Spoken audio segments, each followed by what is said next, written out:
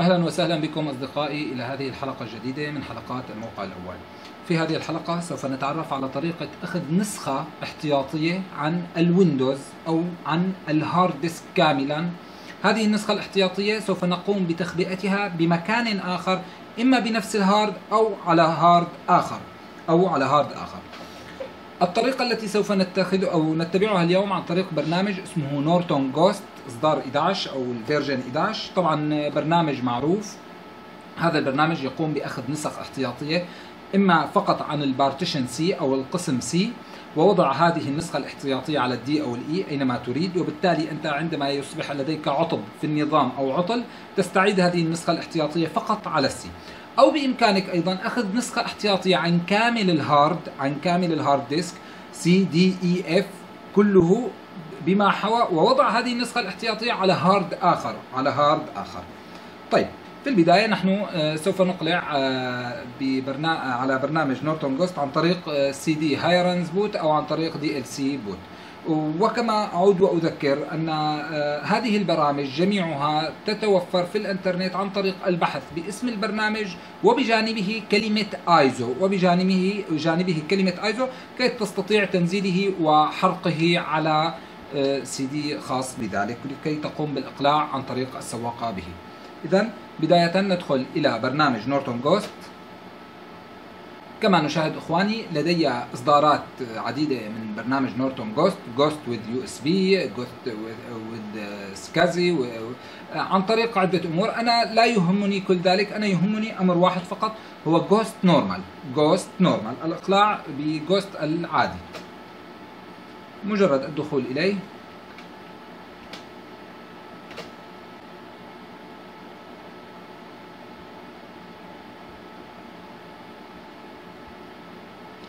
أقلع البرنامج نورتون جوست واعطاني هذه الرسالة التي بها إشارة OK. وطبعا أنا أستطيع التحكم إما بالماوس وإما بالازرار ال keyboard. نضغط OK بال enter. كما نلاحظ هنا عندي عدة خيارات سوف أتطرق إلى الأهم إلى الأهم والأسهل لكي آه، يعني آه، للمستخدمين العاديين يكون الشرح بسيط. عن طريق آه، زر local عن طريق آه، زر local. كما نشاهد لدي آه، خيارين. خيار disk أي أن أقوم بعمل image كامل أو نسخة احتياطية كاملة لل hard disk بأكمله C و D و E كما هو أو partition عن طريق أخذ نسخة احتياطية لل C فقط أو لل D فقط. أحدهم يقول أنا أريد أن آخذ نسخة احتياطية فقط لل D ليس عليها نظام ولكن عليها معلومات هامة جدا. أريد أن آخذ هذه النسخة الاحتياطية وأضعها بقسم آخر وبالتالي لا يستطيع أحد رؤية هذه المعلومات. طيب. اذا disk كما تكلمنا أستطيع أخذ نسخة عن طريق عبارة to image. to image. وفي حالة أريد فرد هذه النسخة الاحتياطية استعادتها نضغط على آه، ايميج يعني من ايميج طيب. آه، الخيارات جدا متشابهة ولكن أنا سوف أشرح تحديدا على آه، طبعا أحببت أن أؤكد على قضية check هذه ال check أستطيع أن أ check يعني أتأكد من صحة ال image التي قمت بأخذ نسخة عنها. أنا لست بحاجة لها الآن. اذا partition من خيار to image أريد أن أخذ نسخة احتياطية للقطاع C. to image كما نلاحظ سوف يقول لي لديك قرص واحد هو 80 جيجا لدي. طيب إن كان عندي قرصين سوف يعطيني خيارين. لديك القرص الأول والقرص الثاني. القرص الثالث إذا عفوا وهنا لا أقول partition أقسام آه، آه، أقسام داخل القرص الواحد لا ال hard الكامل. هنا لدي hard واحد فقط على الجهاز الكمبيوتر.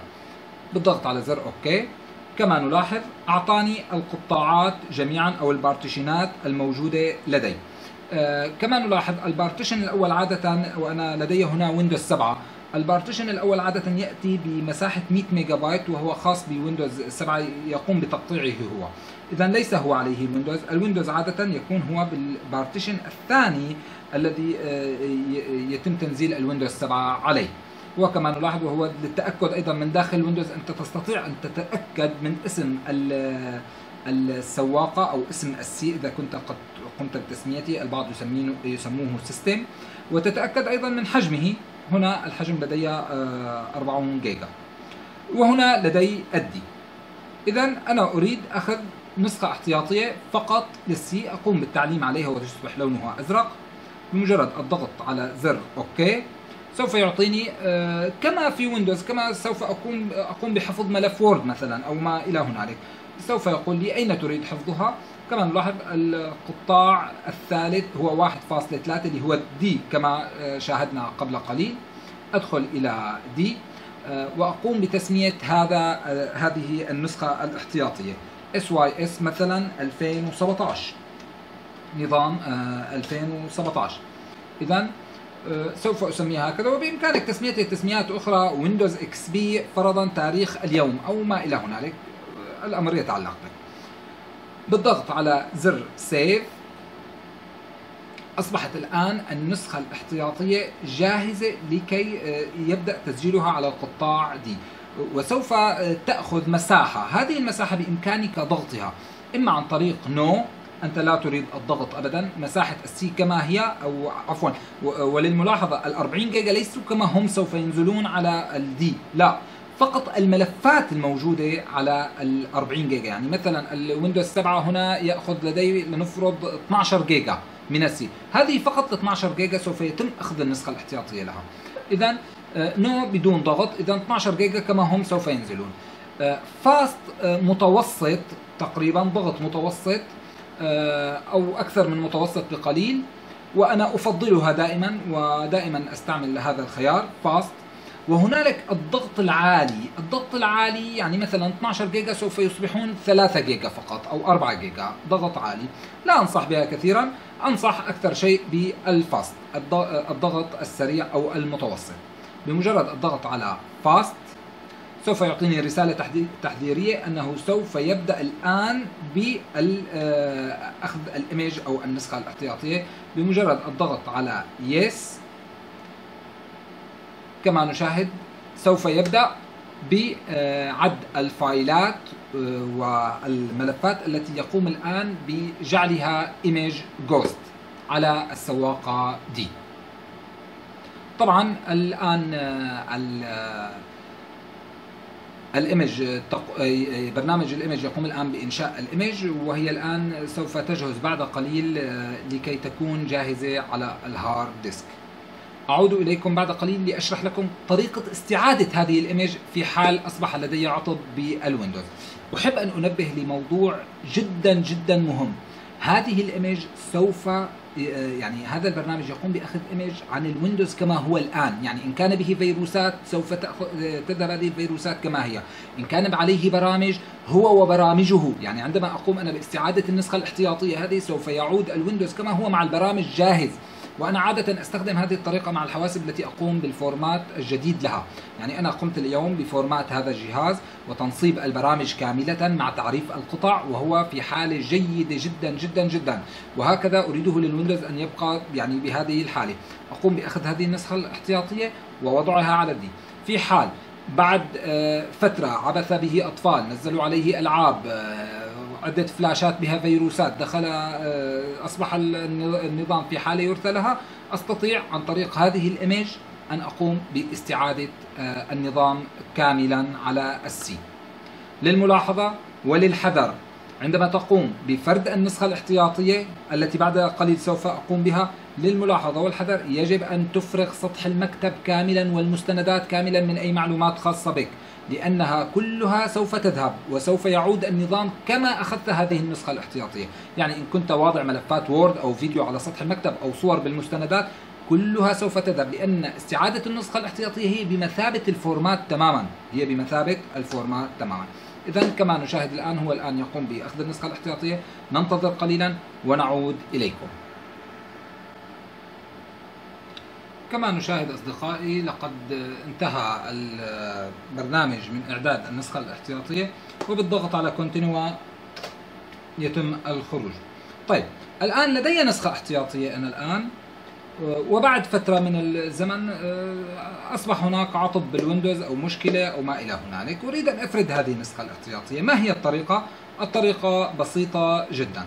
بالبداية نقرأ عن طريق ال Norton Ghost كما نشاهد ال version 11 ومن ثم الدخول على local كما تكلمنا سابقا ومن ثم إلى partition. طبعا إن كنت قد قمت بعمل نسخة احتياطية لل hard كاملا على hard آخر أقوم بالدخول إلى disk from image طيب أما إن قمت بالعمل نسخة احتياطية فقط لقطاع واحد على ال hard disk الذي هو ال C أو ال D أو ما إلى هنالك أقوم بالدخول على partition. من partition from image from image اذا هنا to image نسخ عمل نسخه احتياطية آه، وأضعها على ال hard. الآن from image من الايميجه أريد أن أفرد الايميجه أو أستعيد النسخة الاحتياطية التي قمت بها. أضغط على from image كما نشاهد آه، أعطاني مباشرة أين موضع هذه الايميجه أو هذه النسخة الاحتياطية التي كنت سابقا قد أخذتها؟ آه، طبعا أنا أكون قد أعرف أين موجودة أو أقوم بالبحث عنها بغض النظر. أنا وضعتها في ال D كما نشاهد سوف يكون لها شكل معين. لا يقرأ هذا الشكل إلا برنامج Ghost حصرا. لا يقرأ هذا الرمز وهذه الأيقونة إلا برنامج Ghost حصرا. بالتعليم عليها مباشرة سوف يأخذها ويقول لك فعلا هذا ال image هو خاص ب Norton Ghost آه، سوف يقول لي آه، ما آه، ما هو حجم القطاع أو ما هو القطاع الذي تم أخذ نسخة احتياطية له سابقا؟ موافق. سوف يتم فرد هذه النسخة الاحتياطية على ال hard ل 80 جيجا المتصل. إن كان لدي hard آخر سوف, سوف يظهر لدي هنا. بالضغط على okay. نلاحظ ملحوظة مهمة جدا. أن القطاع الذي لدي عليه ال image الذي عليه النسخة الاحتياطية يصبح لونه أحمر. يعني أي أنك لا تستطيع فرد هذه ال image على نفس القطاع الموجوده عليه. يعني أنا قمت بالنسخة الاحتياطية على السواقة D. أنا لا أستطيع أن أفرد هذه النسخة الاحتياطية على ال D نفسها أستطيع أن أفردها على ال C على ال E على أي قطاع آخر ولكن على التي آه، على القطاع أو القرص أو أو عفوا ال partition الذي عليه نفس النسخة الاحتياطية لا يمكن الفرد عليه. اذا أختار القطاع C تماما الذي أريد الفرد عليه وبمجرد الضغط على زر OK سوف يبدأ فرد النسخة الاحتياطية. سوف يبدأ فرد النسخة الاحتياطية. إخواني كما شاهدنا آه، وطبعا للملحوظة بعد الفرد سوف يعطيك رسالة إنه تمت العملية بنجاح. هل تريد الخروج من البرنامج؟ تخرج من البرنامج وينتهي الأمر كليا. إخواني هذه أهم أهم ال options الموجودة في برنامج Norton Ghost آه، الإصدار 11 وهو برنامج مهم جدا لأخذ النسخ الاحتياطية. أصدقائي آه، إن أعجبكم الموضوع وأحببتم الرجاء مشاركته مع أصدقائكم المهتمين. وإلى اللقاء مع حلقة جديدة من حلقات الموقع الأول.